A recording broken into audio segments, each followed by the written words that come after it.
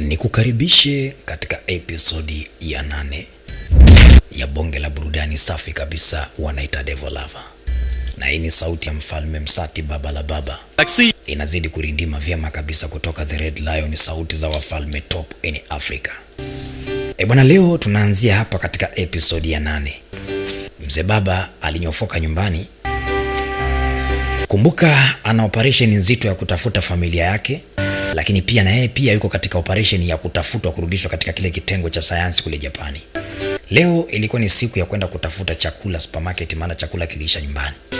Sasa alipokuwa supermarket, yule binti ambaye anamuita Momoko alikuwa akimfuatilia hatua kwa hatua, lengo ni kumrudisha Japani. Lakini shughuli ni nzito, kwa sababu Momoko kashampenda huyu jamaa kitambo, lakini anawaza namna akimrudisha kule, yule jamaa atakwenda kutumikishwa katika shughuli ambazo yeye hakuzipenda. Momoko akawaza akaona potelea mbali, subiri, anajua udhaifu wa huyu jamaa ni chocolate. Akaona ngoja, akamsogelea akamwambia, kaka, habari yako? Akamba salama. Akaambia samani, bila samani, bila samani, ningependa tufahamiane. Jamaa mna shaka. Karibu. Naitwa Momoko. Naitwa Soraka. Haya, wakafahamiana pale basi baada ya pale binti akachukua chocolate akaambia kwa mtazamo tu, nahisi unapenda hii. Jamaa kamba, umejuaje? Na ni kweli mi napenda sana hiyo, umejuaje? Binti akaambia mimi ni Mjapani, anajua Wajapani wengi wanapenda chocolate. Eti we ni Mjapani? Hata mi pia ni Mjapani. Sema nilijua tu, sababu nafsi yangu ilishanituma mapema kwako, nikajua utakuwa ni Mjapani wewe Aise. Saru alifurahi kinyama se. Akamkumbatia pale pale kwa furaha kwa sababu kujua mtu ametoka, ametoka taifa moja. Se. เออ Ah, คุณกอดฉันทำไมคะ ขอโทษด้วยนะครับ binti เตือนคุณ alimwambia nashukuru, jamaa akamwambia pia nashukuru sana. ดีใจไปหน่อยที่ Nasema niko hapa kwa ajili ya kuwatafuta wazazi wangu katika huu mji, lakini sijafanikiwa kuwapata mpaka sasa. แยกไป Kwa hiyo huku nimekuja kutafuta chakula tu. Kweli eh? แบบคุณ Akaambia lakini vipi? หมายถึง hujapata fununu yoyote labda na nini na nini Ah. kasema hapana sijapata fununu yoyote mpaka sasa nazunguka zunguka naangaika ila naishi kwa mtoto wa kike sinti aibu มีพลังจิต unaishi kwa mtoto wa kike mbwa ndio คิดว่าฉันสามารถอ่าน unaishi kwa mtoto wa kike ฉันล้อเล่น Akaambia kwa nini unaishi kwa mtoto wa kike? Au. Ah. That. Sunluuni. Ah, si unajua nilivyokuja huku. Ah, bwana wewe usintie aibu bwana, si wa Japani huaga tunaga habari hizo. Lakini usio na mashaka, endelea kujitahidi kuwatafuta wazazi wako. Ukiwapata usio na pressure. Mimi naishi katika huu mji. Uh. Ah. Ni. Ona. Ah, una simu, unipe namba yako. Lolele tutawasiliana labda nikifanikiwa kupata taarifa yoyote nikujulishe คุณมีพลังจิตจริงๆเหรอ chochote tu au adresi yako na kuishi ni wapi พลังจิต jamaa anaambia simu mi sina ครับ kwanza na, na simu ya huyo dada alafu namba yake sina คงเป็นคนประหลาด alafu isitoshe nakupaje adresi nakokaa nakaa kwa watu basi okay sawa นี่ค่ะ asante pokea hii ขอบคุณครับ asante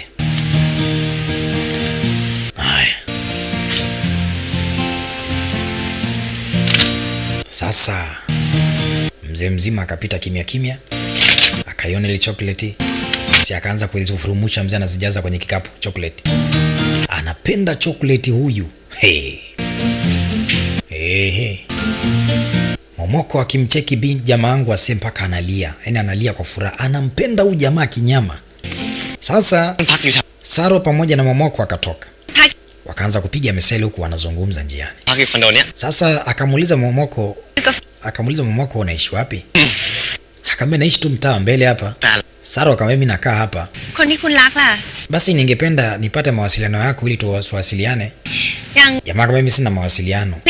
Basi kama utapata muda unitafute. Nijue basi sehemu gani mnakopendelea kutembelea tembelea labda tunaweza tukao tuko pamoja mimi na wewe. Mm. Uh, ก็มีอยู่คนหนึ่งนะ asema basi ไม่เคยเจอเขาหรอก ningelikuwa na simu ningesema nikupe namba alafu nikupe nio na kuelekeza na kuelekea ไงกับเขา lakini simu sina ชอบเขาบ้างไหม basi hamna shaka nita acha niende เรียกผมมากเลยอ่ะ lakini kuna kesho na kesho kutu naweza tukaonana tu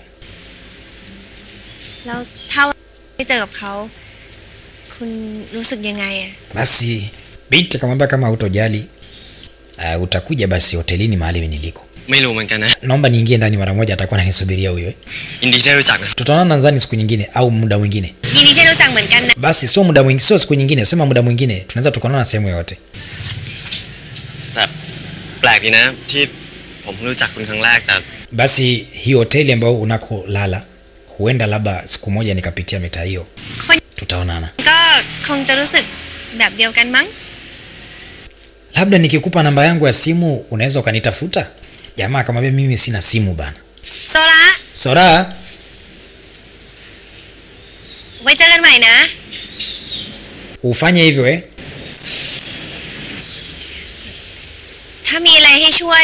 ningependa basi unitafute. Usisahau hoteli nilokuambia Bye, eh. bye.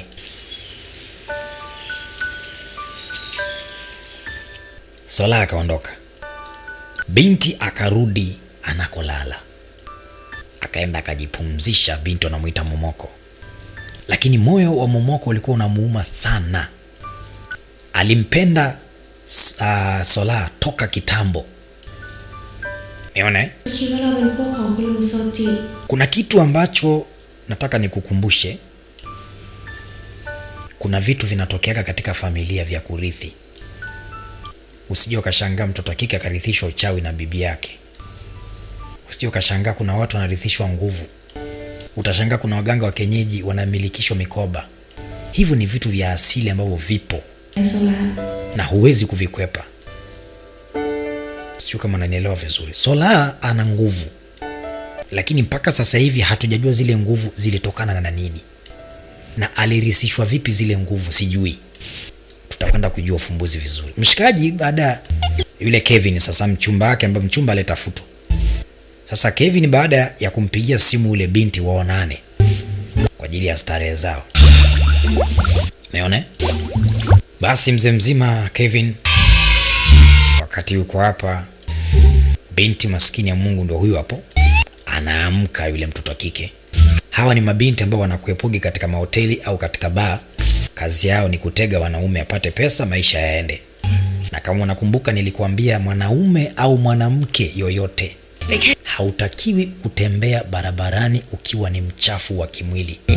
Huwa kuna majini ambao ni wabaya, kazi yao wanasubiriaga watu wachafu wanawakumba. Unaweza ukashangaa mtoto wa kiume usiku unalala, yani unaota ndoto eh, uko na msichana, unajikuta unaingia katika ndoto za ajabu. Hiyo yote ni kwamba umeshakumbwa tayari na jini mchafu, na ndio maana unasikia mtu anakwambia bwana, huyu ana jini mahaba. Kumbe tayari ule uchafu ambao wewe unao ndio una- unaosababisha yule jini mahaba akuingie wewe. Sio kama vizuri sana. Hii picha inatufundisha vitu vingi sana. Ukiwa mtoto wa kiume haupaswi kuwa mchafu mchafu. Kuna majini hapo yanatamani watu wachafu ndo wanawavaa katika mili yao. Unashangaa unaanza kujiuliza maswali, mbona huoi? Au labda wewe kwa nini una, una mawazo na wanawake? Yaani wewe ukilala tu siku kwenye ndoto unamalizia unaota ndoto huko huko. Unaota yani vitu vya ajabu ajabu. Kumbe tayari ushakumbwa na jini na kwa sababu ya uchafu wako. Unapaswa kuwa msafi muda wote na ndio maana wanasemaga Muislamu ni usafi. Lakini pia kuna madhara kwa watoto wa kike. Usije ukaja ukashangaa mtoto wa kike anatembea anaishi katika maisha yake, yeye hajawahi kuwaza mwanaume, anaotaga tu ana jini linamsumbuaga linamalizaga haja zake kwa sababu ana, ana uchafu.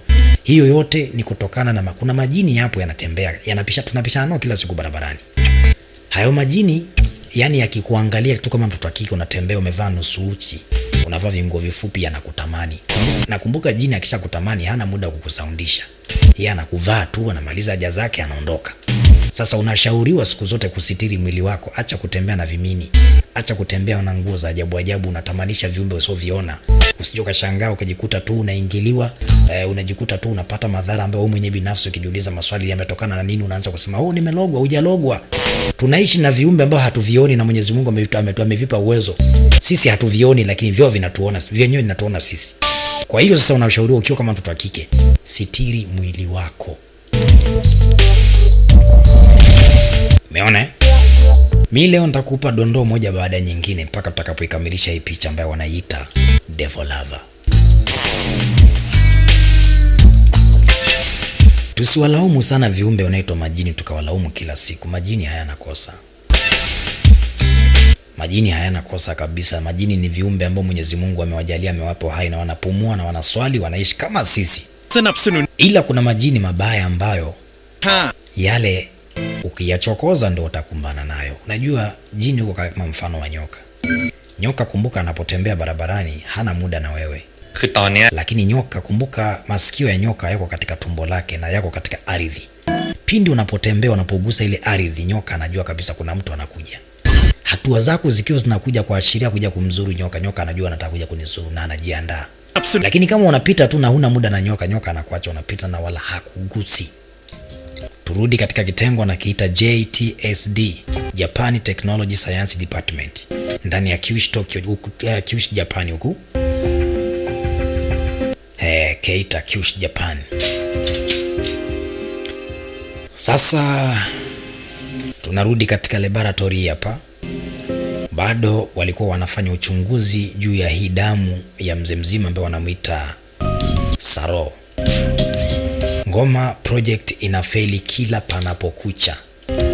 Wameweka ile damu kujaribu kuchunguza kujua kwamba nguvu za Saro zinatokana na nini, lakini kila wakiingiza katika product, program zao inafeli. Aise, wakemia wakuu wameitwa, wameangaika kuichunguza ile damu, lakini mwisho wa siku wanafeli. Huyu bwana mdogo hana nguvu za chakula, hana nguvu sijui za nini. Huyu ana nguvu za kurisi, na sio nguvu za kurisi tu. Leo hata labda niku, leo nitakufunulia vitu vingi sana ambavyo ulikuwa huvijui. Pengeva. Vipi, kuna habari yoyote kutoka kwa momoko? Akaambia chana na habari za momoko, mimi nimekuja nikupe habari za laboratory. Nimejaribu kuingiza tena katika process kuijua damu ya ujamaa vipi, lakini nimefeli. Anasema basi kama ni hivyo tumuhitaji tusolaje? ก็คือ Anasema kiukweli damu yake เคนตะ ni changamoto. คนเนี้ย Ukiingiza katika eh, mitambo yetu เดี๋ยวผม na process yani zina fail, project yetu ina fail. หาโซล่ากลับมา Anasema sola ni muhimu sana kupatikana. Tunafanyaje sasa? งั้น Ah, ระหว่างนี้ผมสามารถทำการทดลองกับเคนตะไปก่อนได้ไหม mimi nadhani labda tungefanya jambo moja la msingi, huyu mtu tumpate. แต่ผมไม่เคยตั้ง Wakati muda huo wanasema tumpate, Momoko ametumwa akamtafute Sola Lakini Momoko amekaa muda mrefu hajarudisha majibu. Sasa wakaanza kuzungumza, basi labda tufanye mchakato mmoja, tutume jeshi. Au tutume nguvu kubwa ikamchukue Sola ikamlete Kibabe. Huyu ambaye yuko pembeni mlangoni akasikia, akasema hapana, Sola hawezi akaletwa hapa kwa, kwa jeshi, lazima nimsaidie Sola. Ile daktari aliruhusiwa aende.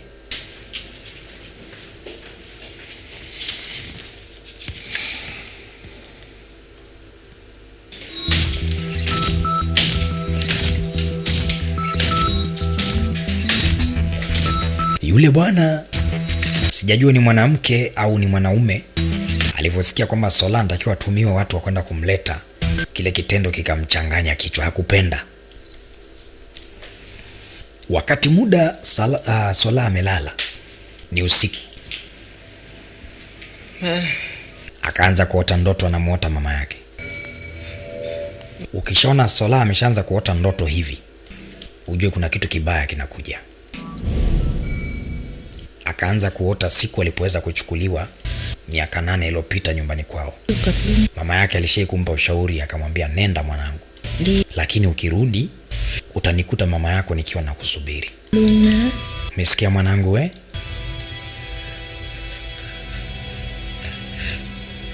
we? Solaa kutaka kuondoka, akamwambia mama yake, mama, sikupenda mimi niondoke nikuache peke yako kwani huko ninakoelekea sijui nitarudi lini. Lakini mama alimwambia, mwanangu, usijali, mimi nakuamuru wewe nenda, hakuna ambacho kitakachoharibika, sawa? Eh? Sola, nisikiliza kwa makini ninachokwambia? Hmm? Sola, usijali.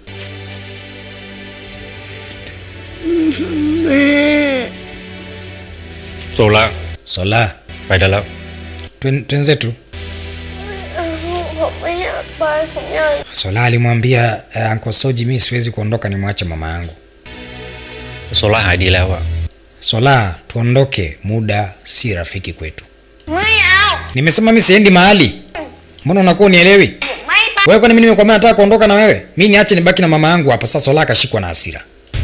Sola kashikwa na hasira, mambo ndo yanakuaga hivi. Sasa anaikumbuka ile ndoto, anakumbuka tukio ambalo lilitokea kati anakwenda kuchukuliwa na yule bwana Ankosoji akashikwa na hasira.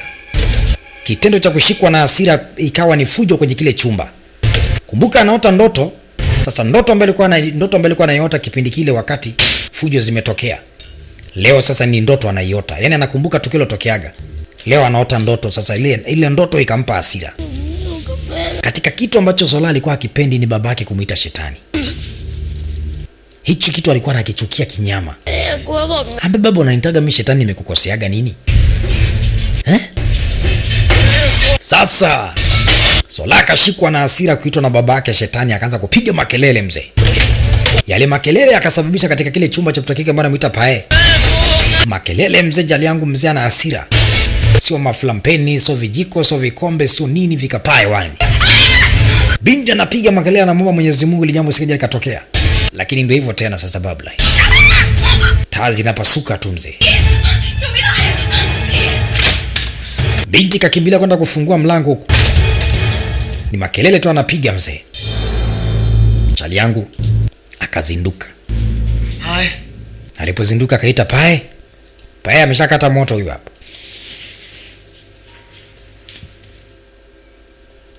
Sasa kumekucha asubuhi na mapema. Pae yuko zake kitandani. Anastuka. Anashangaa. Eh, eh. Mbona aliota? Mbona kila kitu kiko hivi? Eh? aisee we nini tena? Nini? Nini? Nini? Nini? Eh, eh, kamzibua kidogo. Hasa alivyomzibua binti akapata maumivu. Kampa eh, eh. Sasa mimi nimekutoa wenge, mbona umeniziba? Unanipiga sasa, mbona umenipiga sasa? Mimi sikuwa nakutoa wenge sasa, unanipigaje wewe? Umekuja na makelele hapa, nilikuwa nakutuliza. Eh, eh. Kaanza tena huko ndani, huko ndani, huko mavyombo nilikuwa naiona yako juu, naonekana kuna tatizo kwenye nyumba. Wewe tulia. Sasa unaning'ang'ania nini? E bwana, kumbuka ni katika episodi ya nane, ni katika bonge la picha safi kabisa wanaita Devolava. Hebu tuende katika episodi ya tisa tujue nini kitakachofuata. Bonge la burudani safi kabisa, moto mnene, wanawita Devolava. Kumekucha Night.